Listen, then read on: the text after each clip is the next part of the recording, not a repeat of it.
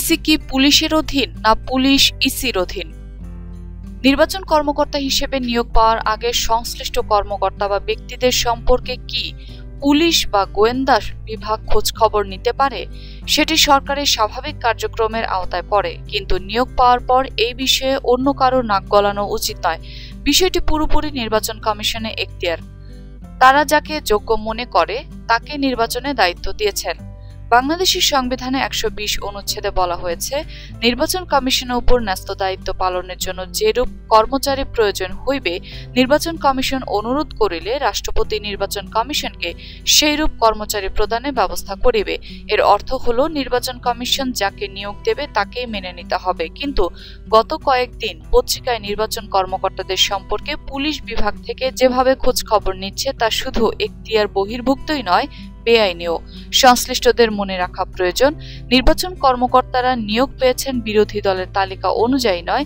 নির্বাচন কমিশনের পক্ষে রিটার্নিং কর্মকর্তারাই এই তালিকা তৈরি করেছেন। যারা সদাশয় সরকারের মাঠ পর্যায়ে শীর্ষ কর্মকর্তাও।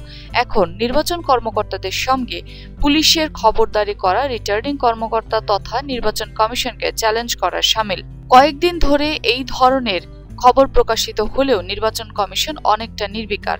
একজন নির্বাচন কমিশনার বলেছেন, কমিশন থেকে পুলিশ বিভাগকে এরকম কোনো নির্দেশ দেওয়া হয়নি। তাহলে পুলিশ কি স্বপ্রণোদিত হয়ে কাজটি করছে? যদি তারা তা করে থাকে, নির্বাচন কমিশনের কি উচিত এখনই বন্ধ করা? কিন্তু তারা সেসব না করে লুকোচুরি খেলছে।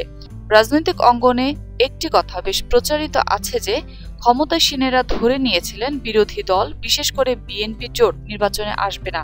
এটা ধরে নিয়ে নির্বাচন কর্মকর্তাদের তালিকা তৈরি করা হয়েছিল।